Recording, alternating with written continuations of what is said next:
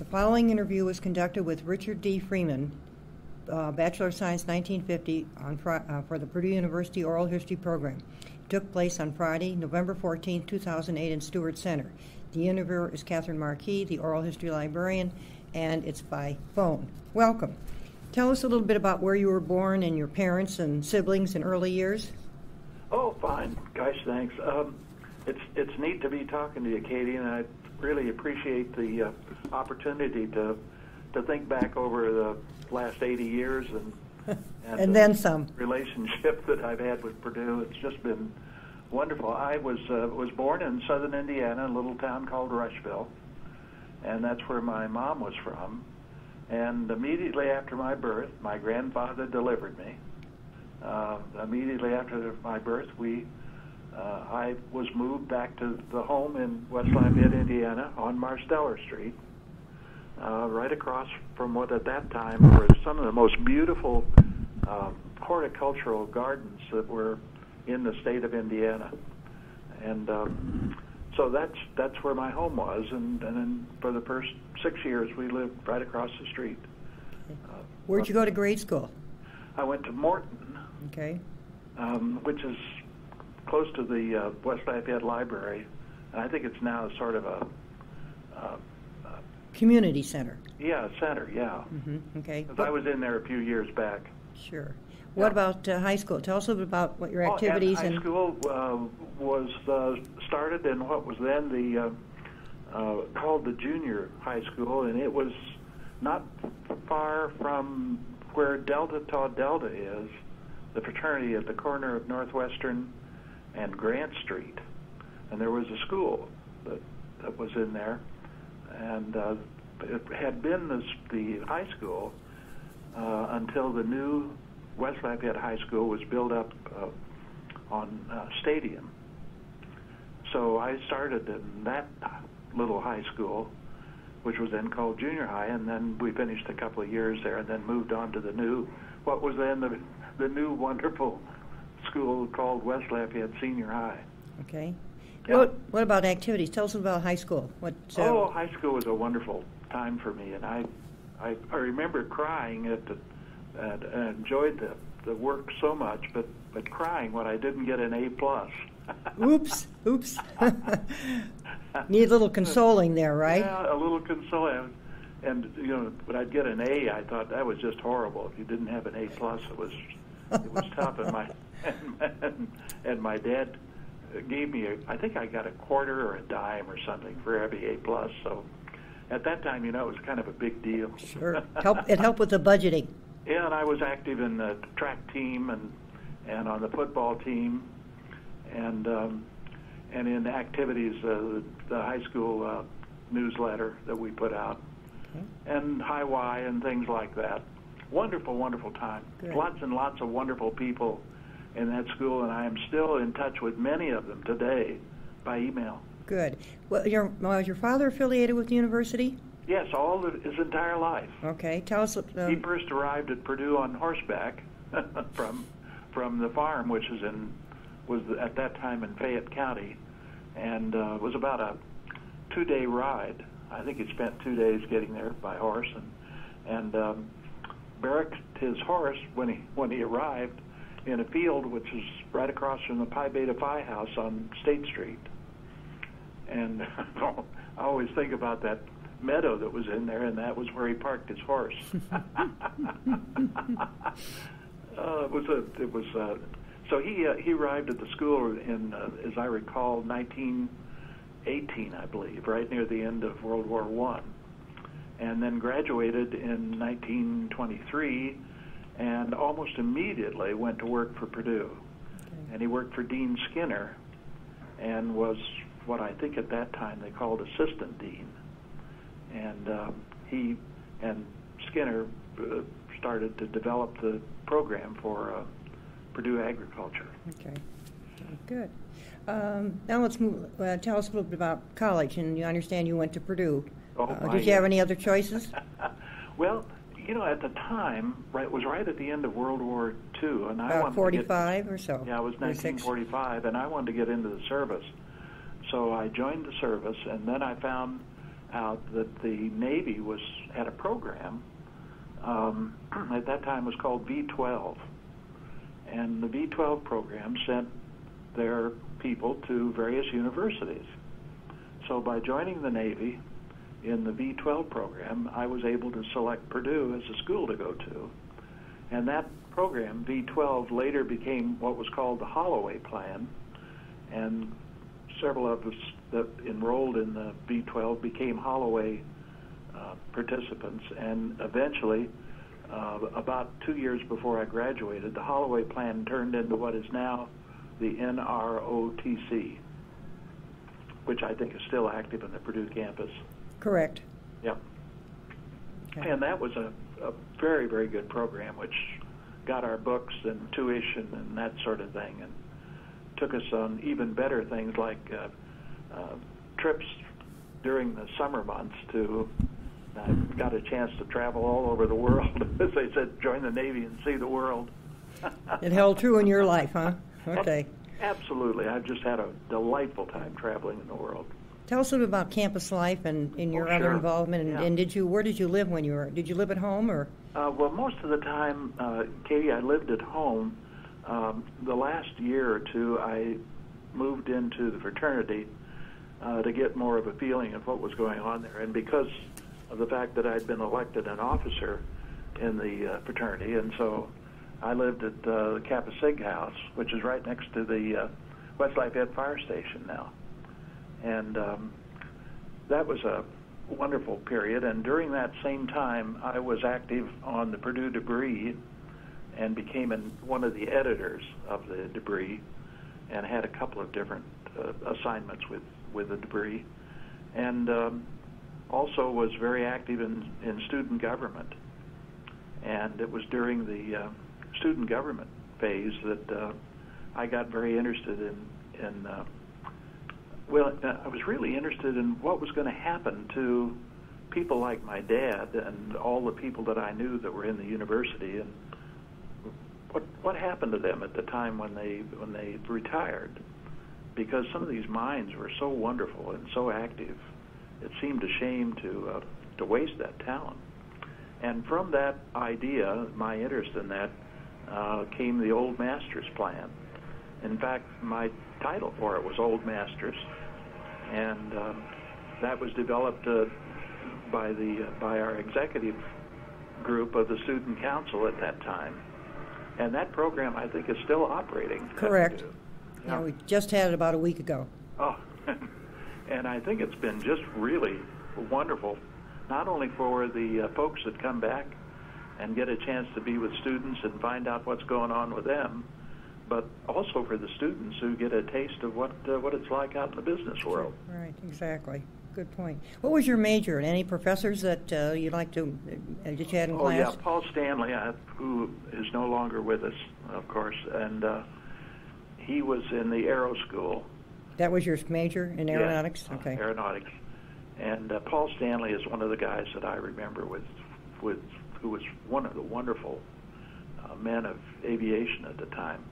K.D. Wood was just on his way out when I got there, and, and it's interesting. K.D. Wood, um, who wrote one of the early books on aeronautics, um, had a son by the name of Bob, and Bob and I have become best friends here in California. Hmm, In fact. I was with him last night. Okay, good. Yeah. Small world. Yeah, really. Gets smaller all the time. And I want to mention also a couple of other guys, but one of the main guys I want to remember is a man by the name of uh, Mart Fowler, and uh, he was very dynamic in his work with uh, students and helping them understand that there was a big world past school.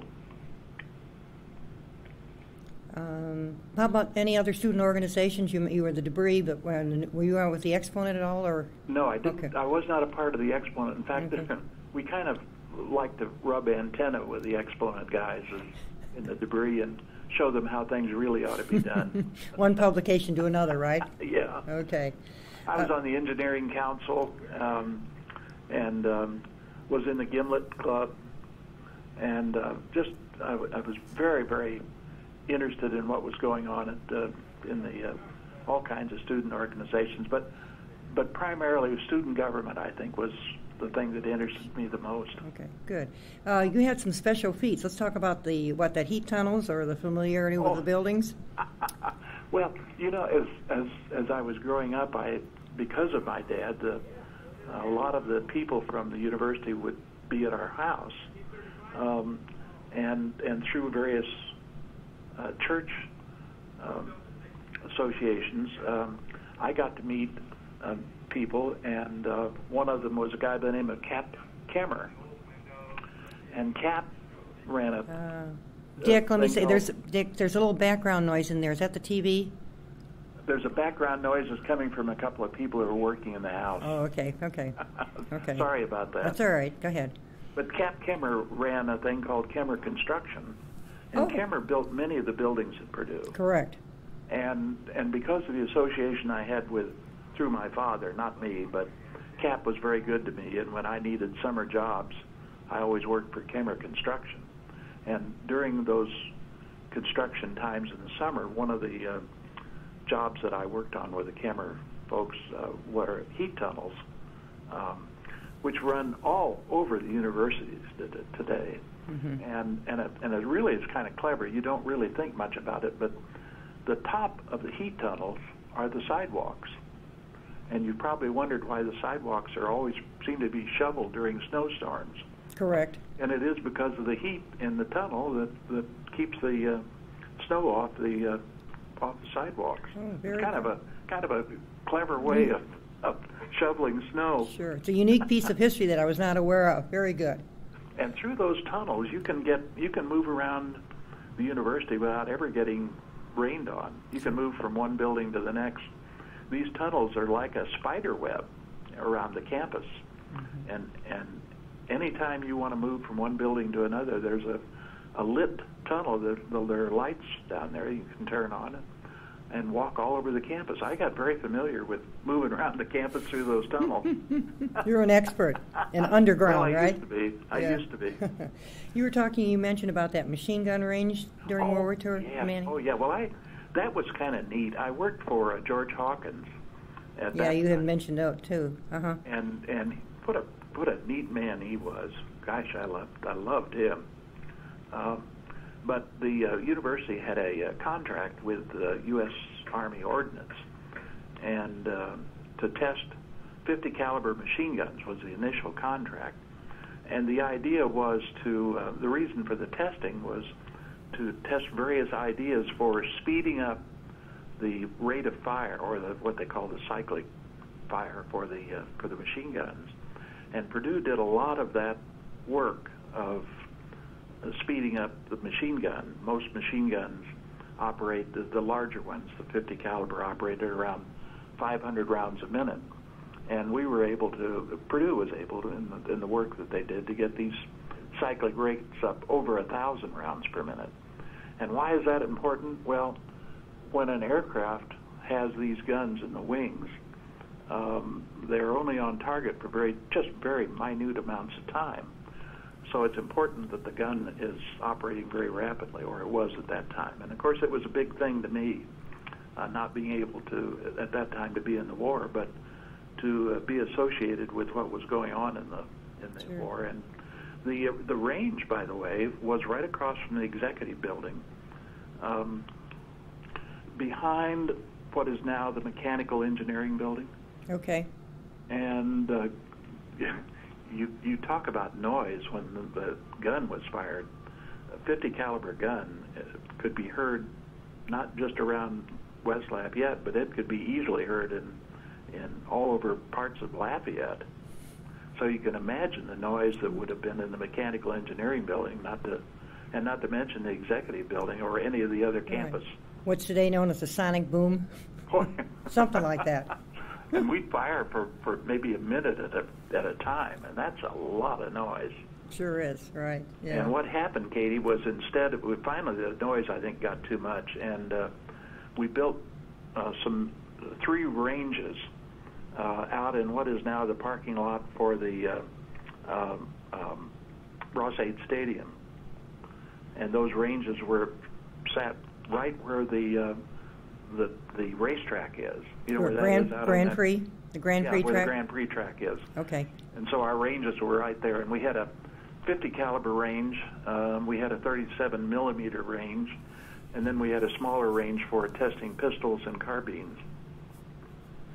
And it was just a great time, and working for a guy like George Hawkins was uh, nothing better.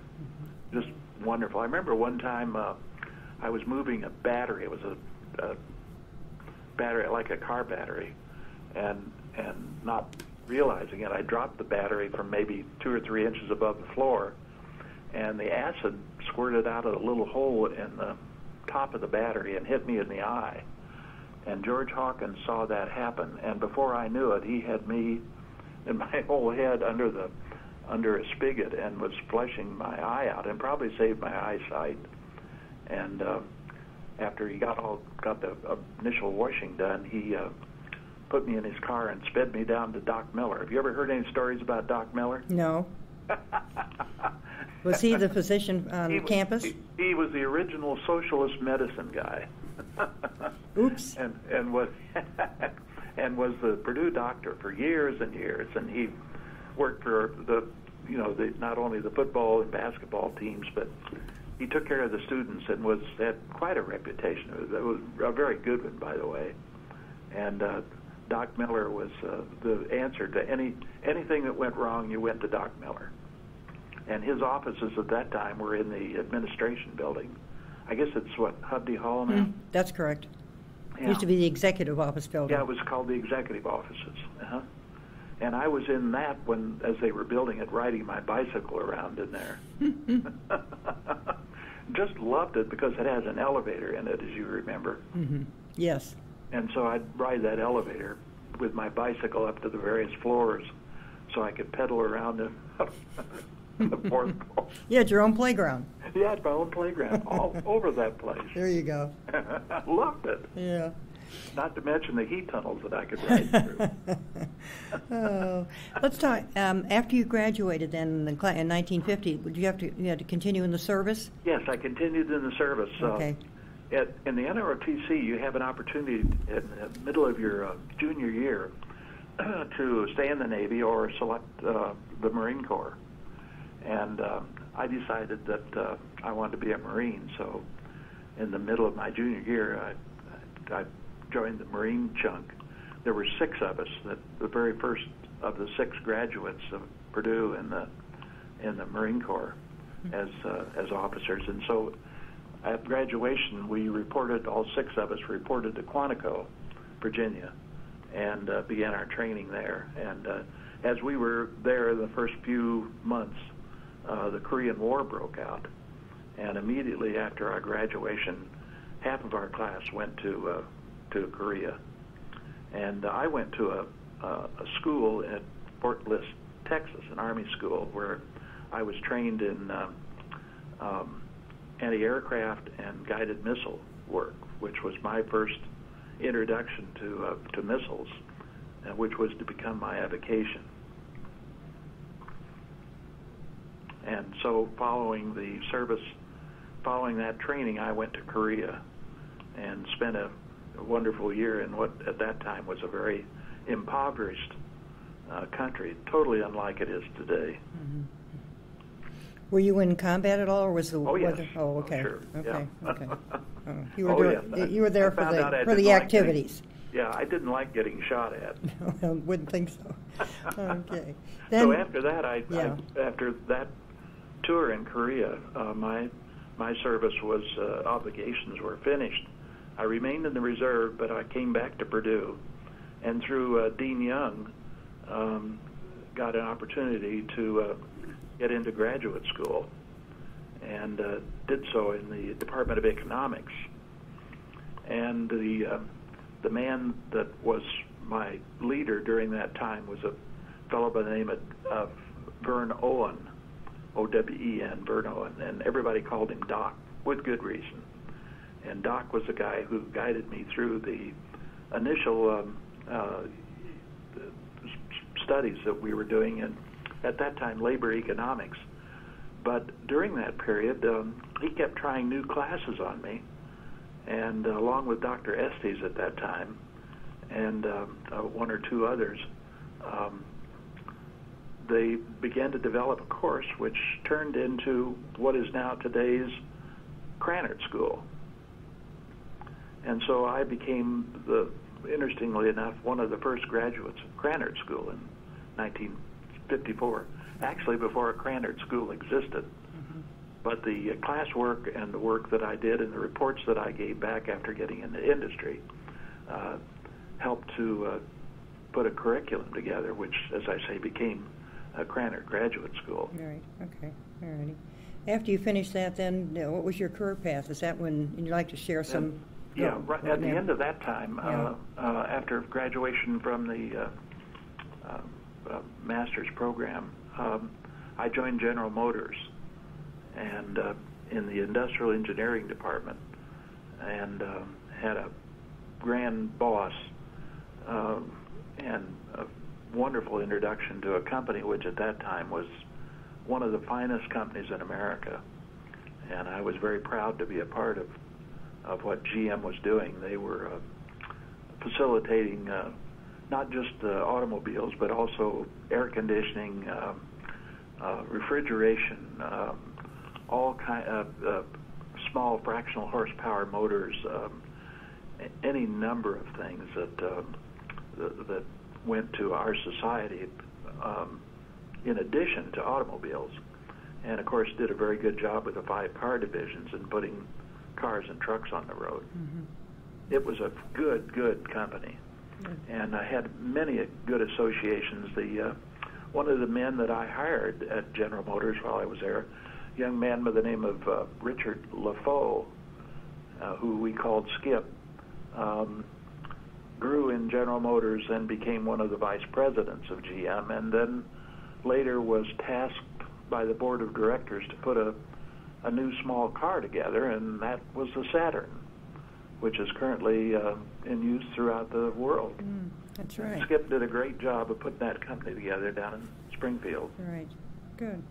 What about uh, then? You had when then you work started working for some aircraft companies. Well, yeah. After I'd had about five had, years of sure. GM and doing that kind of thing. And, and I think I had a quite a good future with GM, but I was anxious to work in my uh, career, what I'd chosen as my career and my career interest. And at, and, and at that time, I got a call from a little company in the electronics business called Ramo Wooldridge. There were two guys, Simon Ramo and Dean Wooldridge, both of whom had worked for Howard Hughes. And um, they were the guys that actually put together the first air-to-air uh, guided missiles, and uh, and were a little disappointed in the way Hughes managed things. And of course, I found out later, working for Hughes Aircraft later on, that that Hughes rarely managed anything. He uh, he was usually off counting his money. It was very hard to get to. And at any rate, uh, both Wooldridge and Si Ramo decided to start their own company and with the help of a guy by the name of General George, who had just then left the Air Force, and uh, Thompson Products, a company in Cleveland that had been very instrumental in the uh, uh, automotive business, formed a company that was called, at the time, Ramo Wooldridge. And um, shortly after I joined Ramo Wooldridge, um, Thompson, who that had been the people who had put the money up for this venture, decided to get their name in the act. They decided this little company was going to succeed. So the name of the company was changed to what it is today, TRW. And it's one of our finest defense uh, industry um, businesses in, in, in, the world. And uh, having a chance to work for Si Ramo in those early years was just a very pleasant thing. So from the time of of uh, Ramo Wooldridge. Then later I was attracted to a uh, company at Curtiss Wright, which was uh, starting a business in Albuquerque. And they asked me to come in and, and become the uh, plant manager. And from there, I went on to work for Hughes Aircraft in the late 60s. And Hughes Aircraft is, without question, the finest company that I've ever had a chance to work for. There were um, I think we spilled more technology than most companies ever have. And and Hughes, while he wasn't our our boss, um, certainly was a very big name draw and was made it possible for us to get in maybe places that we might not have gotten into before. but it was uh, while I was at Hughes Aircraft that I got into uh, uh, missile design, and uh, most of my work, Katie, was conceptual. Um, that is, I see a problem while being in the Pentagon with the people there, and and realized that if, if I took several technologies that we had at Hughes and put them together together in different ways, uh, we'd have a solution to to that problem. Um, one such program um, was the Maverick missile, which is an air-to-ground missile, the AGM-65, and I was the author of that of that missile, and it's still in uh, use today. It's being used in uh, Iraq, and it's been very successful in uh, in the uh, in all the time it's been used in the last oh, gosh 35 years. Pretty good. Yep. very good.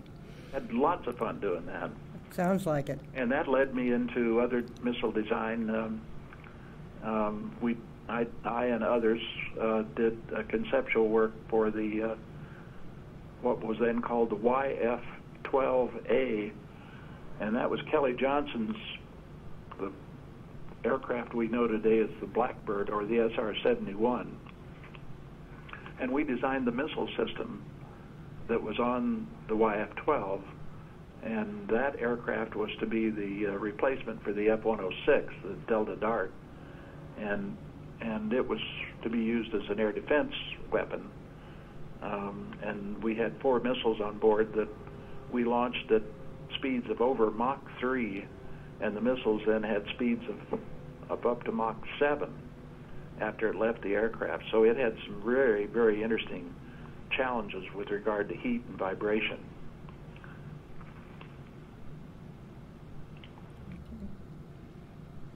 Um, working with Kelly Johnson, um, who was at Lockheed at the time, uh, was a was quite an experience. And Kelly was one of the real conceptual guys of of the of that era, and and I think will go down as one of the finest designers of uh, of aircraft in uh, ever, mm.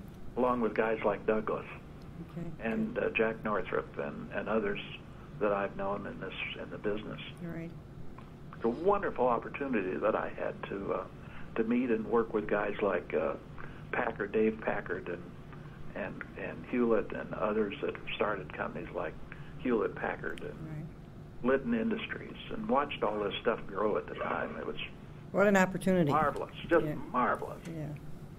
And then you uh, were with Rockwell, but now you have your own company. Is that correct? Well, after oh. I was I was at, while I was at Hughes, um, I I got to be known for the work that I was doing with these various missiles, and having developed several of these missiles, among them the Maverick, um, gave me an opportunity to get kind of uh, some exposure to to other companies, and I got a, an opportunity to work for a man by the name of Jim Ling, and uh, uh, he had formed a company called Ling Temco Vought. Um, which today we know as LTV.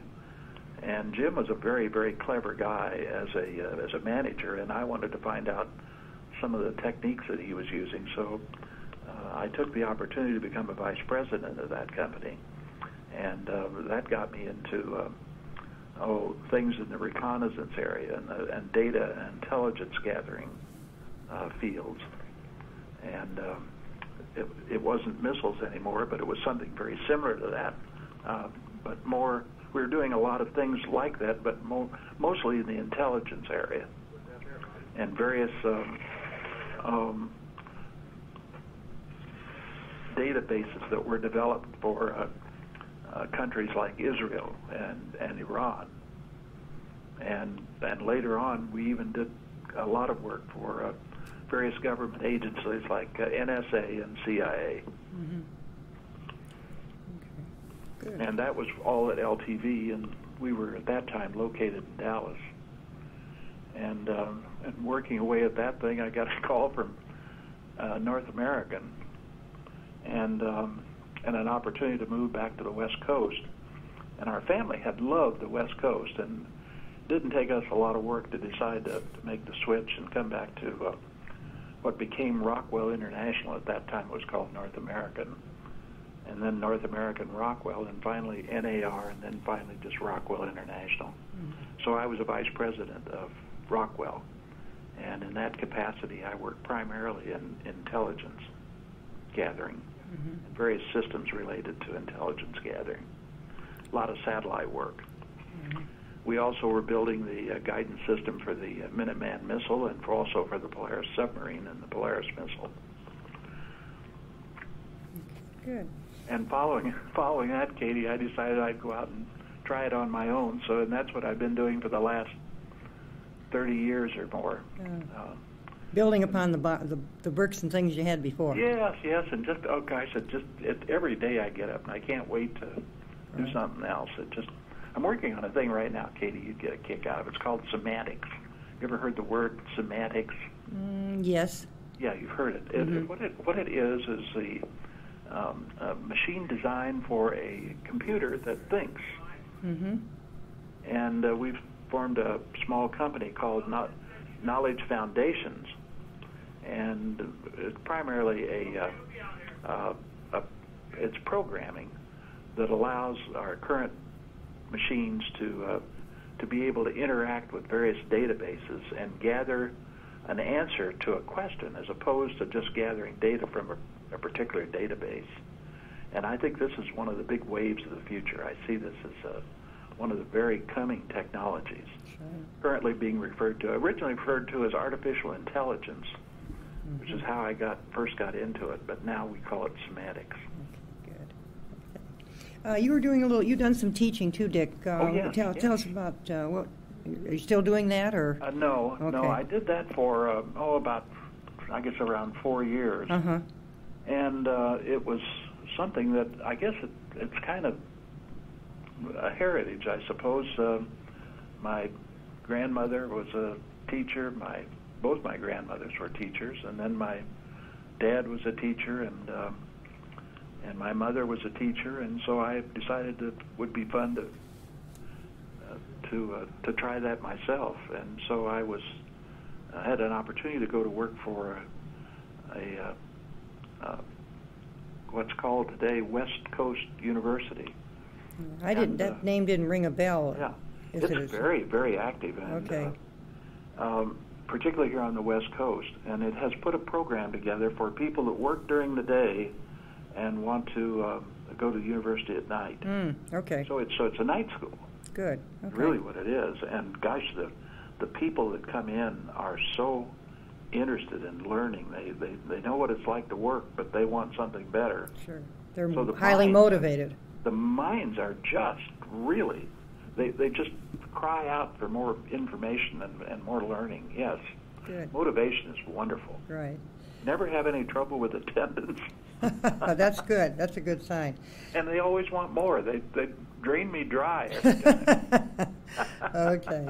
Now your special interest, uh, Amelia Earhart. Oh yes. Tell, yeah. tell us what. Uh, yeah. Knowing that uh, the collections well, you know, are here. All, that all started at Purdue too, because Amelia um, came to Purdue University and well, in, 1935 in the, in the middle 30s. Yeah, 35. And, and I met her in 36.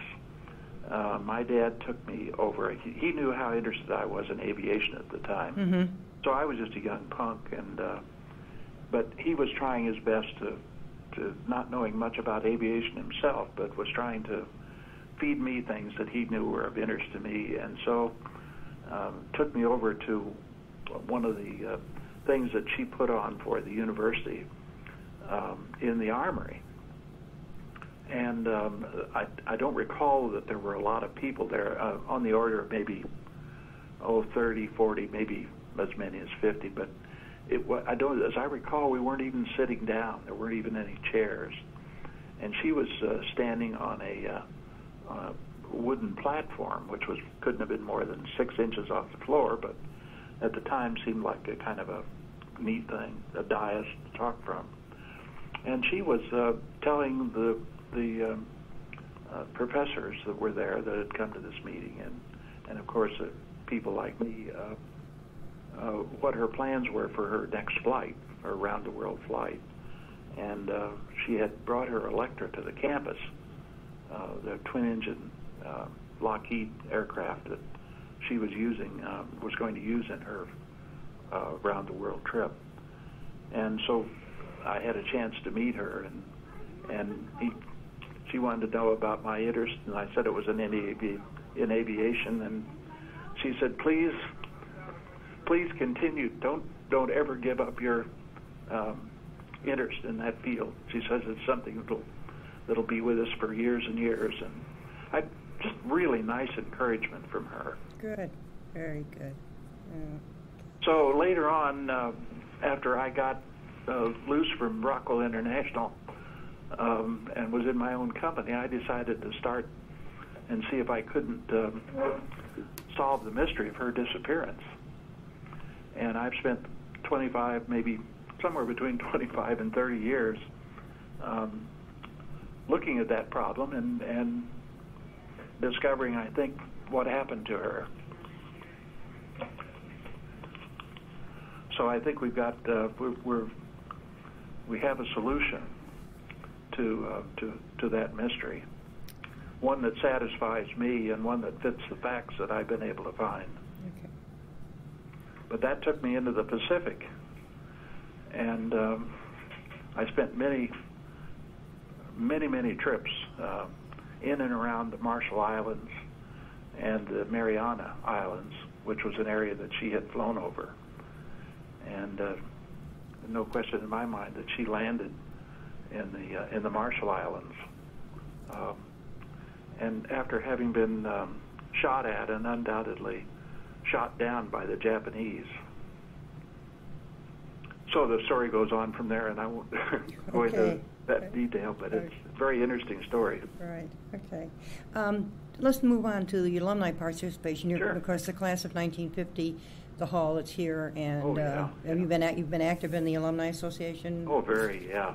Okay, another enjoyable part of my life has been uh, with the Purdue alumni guys, and uh, and and in particular with the libraries. And that's uh, yes, I was going to ask because you were one of the inaugural, the deans, um, Dean Mobley's, I believe, the inaugural uh, Development Advisory Committee. had this, uh, I think, excellent idea of attracting people from industry who had a desire to work in and and and do some guidance with uh, with the libraries in terms of uh, the kind of material that, that a library might amass, um, not only in special collections, which I think Purdue has done a just a beautiful job with, but but also in the kinds of uh, uh, pressures that the library will feel as the future comes along in terms of uh, storage, for instance, of, of data.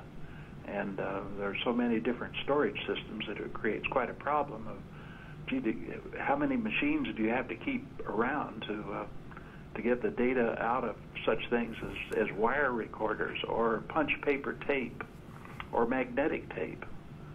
Uh, a lot of data stored on various media that are, uh, you know, a few years from now we won't have anything capable of reading it. Right. And uh, and one of these aspects is what we've already discussed for a few minutes, and that's the idea of semantics.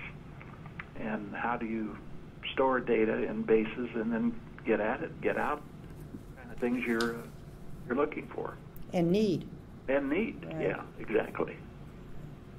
So I think Purdue has done some really interesting things in that regard, and and a lot of it started with this uh, committee that Emily Mobley started. Right, yeah, good one.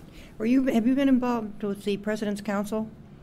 Yes, of Okay. course. Yes, I have. Okay, Uh-huh. okay. So when you come back, you usually participate, and of course. Oh, yeah, And you remember, yeah. you did one of those back-to-campus classes one year. Yes, I, and, I yeah. did that uh, for the library. I That's think one right. of the first times the First library times, was I, involved. correct, exactly, yeah.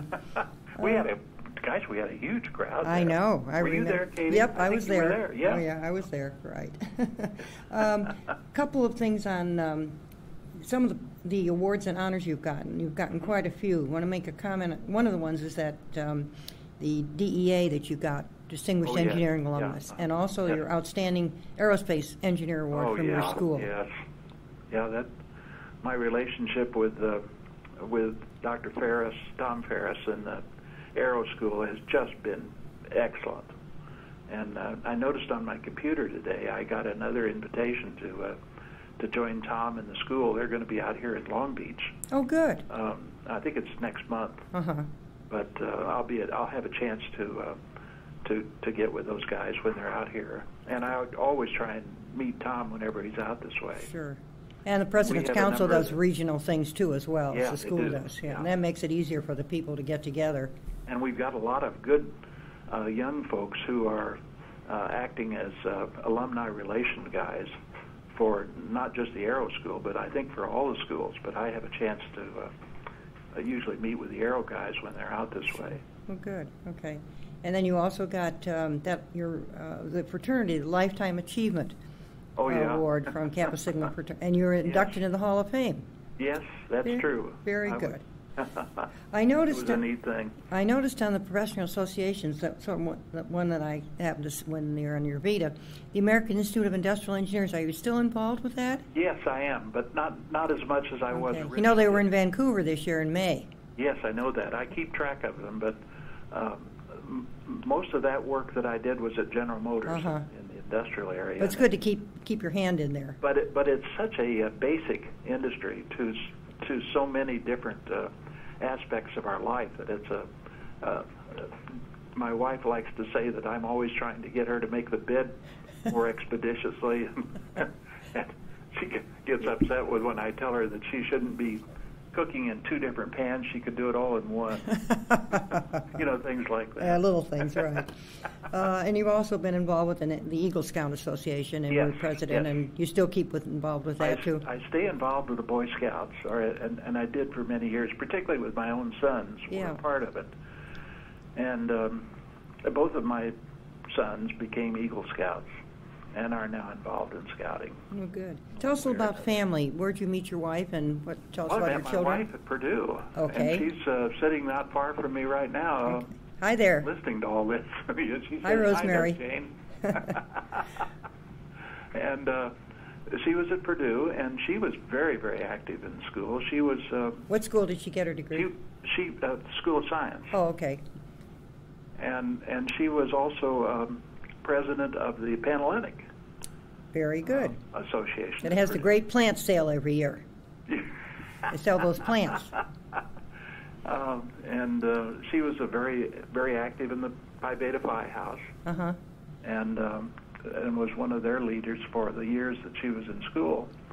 And we met at Purdue when we were both freshmen, and and um, have remained married now for um, well, we married at, in 1950 when we both graduated, and um, we just celebrated our 58th anniversary. Congratulations. Isn't That's that one- neat? Yeah, that's the best. Very good. She's the best thing that's ever happened to me.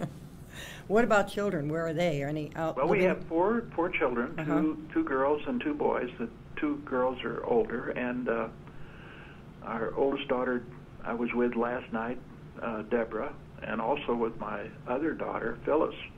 I had both of and and my son Tom were with both Jane and I last night. We had a uh, we put on a, um, a movie benefit to raise uh, money for the uh, Child Abuse Prevention Center, which is one of my favorite uh, charities.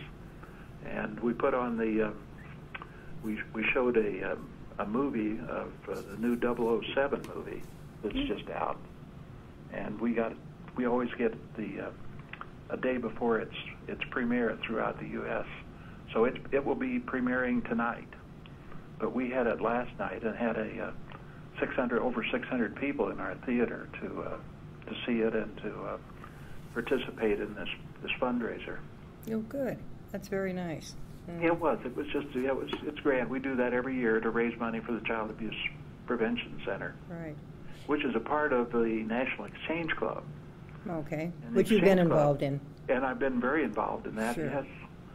And uh, it's headquartered in Toledo, Ohio, and uh, has chapters throughout the United States. Good. and uh, it's it's one of the service clubs like uh, uh, similar to uh, Kiwanis and Rotary, and Mm-hmm. and it's a club like that. Um, are your did, your children go, graduate from Purdue? Uh, no, Oh. they the, all they were each from a went to a different school. Okay. Um, for instance, my oldest son, who is now an executive with uh, UPS, uh, graduated from uh, Stephen F. Austin University, um, which is in Nacogdoches, Texas. Uh-huh. At the time, we were living in Texas, and uh, both my my oldest son and my oldest daughter were uh, uh, students at you know at uh, Stephen F. Austin. Mm-hmm. My son Tom, my youngest son Tom, is now with IBM, and he graduated from the uh, San Diego State University. When, of course, we moved to California, there was a handier thing to for him to, to go to San Diego, Sure. Sure. to Nacogdoches, Texas. There, there you go. Okay. But all four of the kids are just doing great, and we've got nine grandchildren. Oh, good. Holidays are look coming up. All right. Yeah. Yeah. I Chauncey. had all but two of those guys with me last night. Oh. We had the entire family together at the movie. Well, good. Chauncey Village, uh, when you in the fifties, was Mhm. a lot different than it is today, isn't Oh it? my, yes. And Yeah. even in the thirties too. All right. It's gr- Yeah, it's yeah. grown a lot. How well I remember that. Oh gosh, what fun times! In fact, there's a uh, there's an article in the Purdue Alumnus. I think the one that just came out Oh, uh huh. about uh, Harry's chocolate shop. Did you have a chance to see that? I, I uh, a friend of mine gets it and shares the magazine, but I haven't seen the current one. Yeah. I'll have to well, look at it. story, and you of course know about Harry's. Oh, of course, yes. Any, uh, particularly Gala Week or Homecoming, you you line up or whatever. Oh, you. Yeah. In Well, fact, for homecoming this year, they put ropes outside on the sidewalk and Oh, make the line a little bit easier to manage. Well, I knew Harry quite well because Harry was the father of one of the girls I dated in high school. oh, okay. His last name was Merrick. Yes, I know and, that. Right. I've heard that. Joan, Joan was his Joan was his oldest kid. Uh, Joan Merrick, Joanne Merrick, and then of course there was a a, a younger brother of Joanne, and his name was I believe Harry Jr. Oh, okay. And we pledged him at Kappa Sig House, so we'd always have a corner seat. Always thinking ahead, right? Yeah, I'd tell Harry that. that he, you know, he'd throw another beer beer bottle at me. oh dear. Do you have a um, favorite Purdue tradition that that, come, that you'd yeah, like to share? the one I yeah I was thinking about that, and Uh-huh. the thing that I like the best is Hello Walk. And I don't suppose they do much anymore with that. I, I guess do people know that there still is? Well, sort of, and they put the plaques. I think the class of '53 did something, and they Oh, did did some they? renovation. and There's some plaques, but people, rec- if you say that name, I think they'll understand it. They'll Yeah. they'll real, realize it. But I always got a kick out of one. But they don't talk. They're just rushing to class. There's no, you know, helloing kind of thing. No, I don't think yeah. so, which is okay. Everybody's busy. How about an outstanding event?